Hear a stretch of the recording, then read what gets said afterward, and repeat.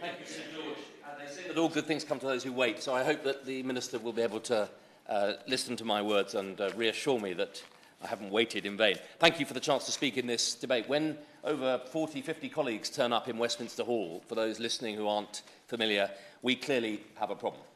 Uh, and I want to suggest actually that we have two problems here that the Minister has the great honour of helping us deal with. One is the very serious problem of the increasing number of people in this country who find themselves in the turmoil of addictive gambling and online gambling.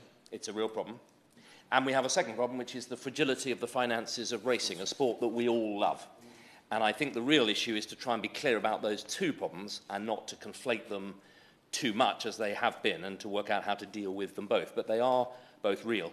Uh, Sir George, I have no particular interest in racing other than a long family uh, history and connection. I've been to the races many times, both before and as a Member of Parliament, occasionally as a guest of the VHA, uh, who supported the work that I did creating the Bridge of Hope charity. And I was closely involved with Pride, with the 2013 bill, my uh, great friend, the member for Suffolk West, Newmarket, and those of us in the industry who made sure that offshore betting was brought within the purview of the levy to give racing a serious boost. I don't have a horse a racetrack in my constituency yet. I've waited for the Boundary Commission to put Fakenham in my patch uh, for many years, but they refused to do so. Uh, but I enjoy the little tracks as much as the big, a point that my um, great friend, the Honourable Member for Lowestoft, has just made. It's a great pleasure to follow him. Uh, my brother trains in California, and I've spent many hours as an underpaid hot walker walking his hots around the track in both California and rather cooler at Woodbine in the winter. And I'm a happy and uh, assiduous attendee at Fakenham races, one of the country's great regional tracks. Uh, Sir George, as I think the House knows, I, I really stand this afternoon because my own family experience. My father was a jump jockey. He rode through the 40s and 50s. He rode for Sir Peter Caslett. He rode Her Majesty the, the her, her late Majesty the Queen Mother's horses. He won the National in the 58 on Mr. Watt and the King George on Lockrow and he, with my, with my mother, bred Specify, who went on to win the National in 71. But his story is a tragic story because after many head injuries, head injury-induced depression, psychosis, alcohol, addiction, gambling, bankruptcy, his life and indeed my family's collapsed in 1967. A very familiar tale of many sporting heroes, and it's a story that, thanks to the great work of racing, we don't see anymore because we're better at looking after jockeys, we're better at uh, detecting uh, injuries, head injuries. And it is in that context, really, that I want to just make very clear that I'm rising today really because I take very seriously the, the unintended consequences, the damage of great sport when not properly regulated, and the damage of, bankrupt, of uh, gambling and bankruptcy. And I'm not at all relaxed about those dangers. And it is, therefore, I hope, all the more powerful when I join colleagues who've spoken today in saying how seriously I worry that this well-intended measure designed to tackle the curse of online gambling is in danger, in fact, of not solving that problem, but exacerbating another, which is the deeply fragile finances of a great sport that I think we all, across all parties here today, have expressed our love for.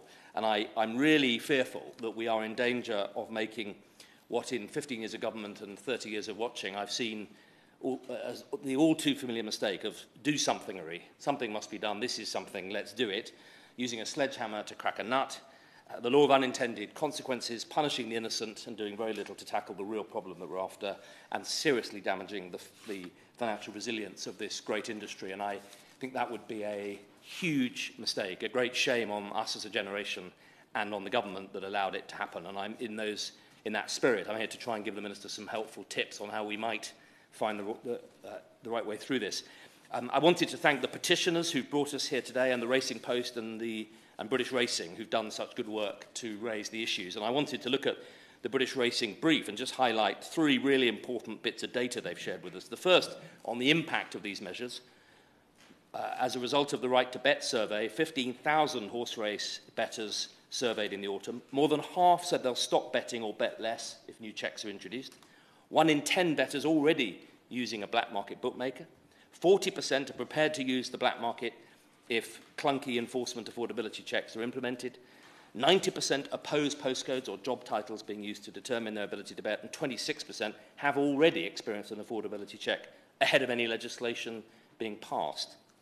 Secondly, the briefing makes clear the full impact of these reforms as introduced, if they're introduced as they stand, potentially 50 million pound cost to this industry that is already, as the, my honourable friend the member for Lowestoft has just made clear, is already struggling.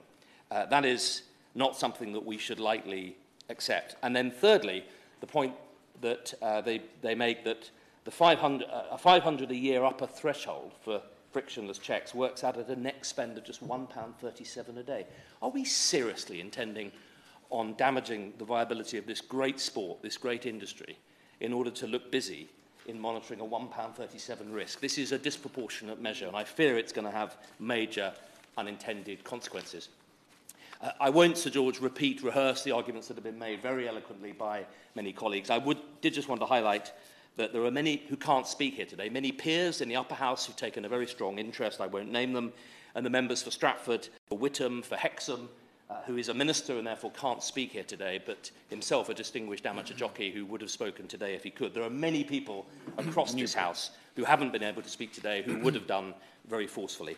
Uh, I want to make one or two points that haven't uh, perhaps been made as fully as they might. The first is, and this has been made, that racing is a vital mainstay of the decentralised rural economy all around this country. And it's absolutely key to the levelling up mission that the government has set out. Yes, it is the sport of kings, as others have said. It's also the sport of stable lads and ladesses, the sport of uh, small businesses all around the country.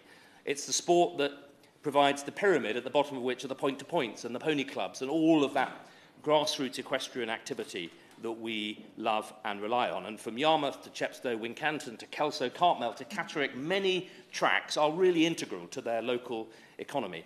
It touches on and is instrumental in 60 marginal seats, not a small number in an election year, 80,000 direct jobs, 100,000 indirect jobs, and 8,000 SMEs. This isn't a fringe activity. This is a very key activity at the heart of our uh, decentralised economy.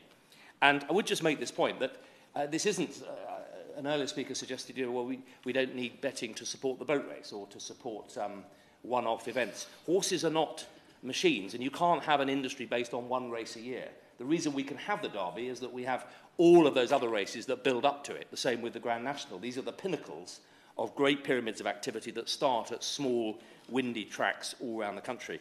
And horses can't just be parked for 364 days a year and then asked to run. And the training of horses, the conditioning of horses, is something that requires activity all through the year. I'll happily give way. I just felt all of this debate. We haven't really mentioned those beautiful creatures. Um, and the joy it is to watch them race uh, and, and, and all those who work with them and train them and look after them um, and how important that is uh, really for, to, to all of us who have spoken today. And I'm grateful to Elvira. She makes a good point. They're beautiful and uh, what a joy it is to watch them exercising, whether in Moulton, in Yorkshire or in uh, wherever it is around the country, the, the sight of horses exercising in preparation for racing is part of that rural economy. Uh, uh, secondly, I want to make the point that it is a jewel in the crown as an activity and industry of our global soft power. And the truth is that coming from Newmarket as a child, I've watched as that town and that industry has become very reliant, over-reliant, I would suggest, on a few very wealthy families who've done an amazing service to our sport, but we have to make sure that we're not reliant on a very small number of individuals to maintain the viability of, uh, of an industry. And that puts this uh, debate in a wider context. Uh, crucially, I want to really highlight that there is a very serious problem in our society of addiction to gambling, and particularly online gambling. And there is a growing body of evidence, and I say this as the former Minister for Life Science, somebody who's had a career in, in medical research, that, that the causes of these addictive behaviours, of these cycles of addiction, are, are not simply based on repeat activity. They are a symptom of much deeper underlying causes, uh, often genetic, often and uh, nearly always neurological. There's a whole series of conditions that drive that underlying cycle of addictive behavior. It's not that you have a bet on a horse and then you have a second, and it's entirely addictive. Indeed, in my experience, betting on horses is quite the opposite. I very seldom made much money, and I very seldom carry on doing it with that in mind. No, no, what drives the, addiction beha- the addictive behavior is not. It's underpinning uh, neuroscience and wider conditions, and we really need as a society to take those very seriously. Will you give way on that point? Isn't there a more specific uh, distinction there that he almost drew out, which is that um, the placing of a bet and then waiting many minutes as a minimum and for a result is neurologically distinct to a bet which gives an immediate yes. uh, immediate hit which has an where the repeat bet would be based on the physiological immediacy of the previous result whereas horse racing uh, breaks that and has a different neurological and therefore uh, impact uh, on addiction. And therefore, wouldn't it be right in law and in policy to completely separate the, these proposals when it comes to online games of chance from the wonderful sport of horse racing. It would be easy to do in law. Let's just split the two. Well, my honourable friend anticipates the logic of the argument I was building towards. Exactly right.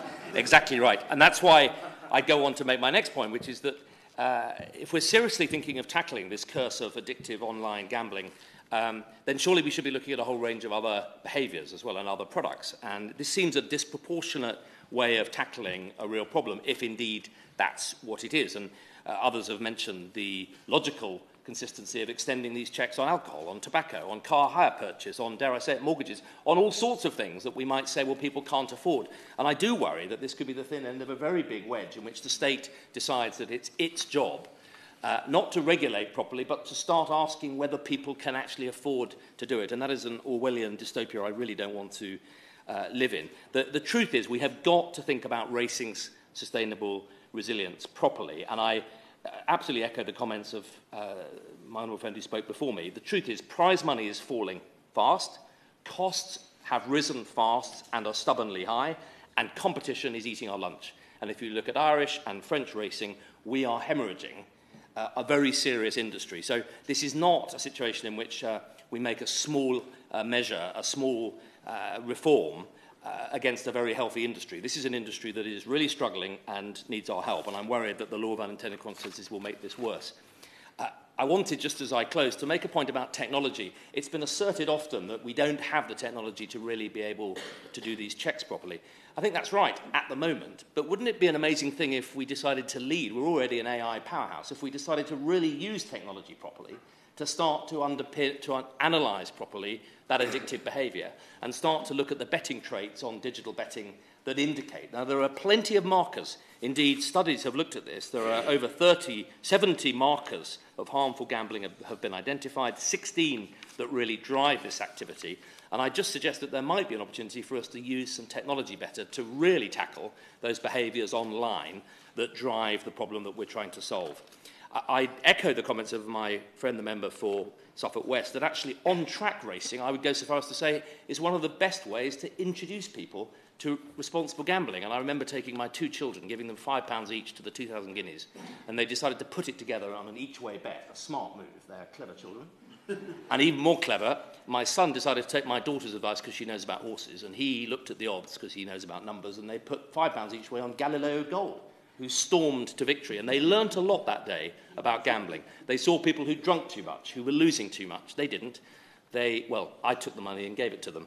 And they discovered a lot. And I think on track gambling is a fabulous way of actually getting people to realize that most of the decisions in life we take are a gamble one way or another. And it's how you take them that really, that really matters. So let me conclude, Sir George, by saying I'm not here in any way for the health of the gambling industry. I'm here interested in the health of UK racing and in the real identification of the at-risk addiction uh, that we see cursing so much of our society. I mean, in particular, those games of chance that have driven such addiction. The Minister has a difficult job on his hands. I've sat at that box with packed Westminster Houses calling for reform, and I would simply say this to him. I know he has a very difficult job. The Prime Minister in North Yorkshire understands the importance of this industry. The Secretary of State next to Newmarket, in fact has the breeder of Galileo Gold in her constituency, I know understands it.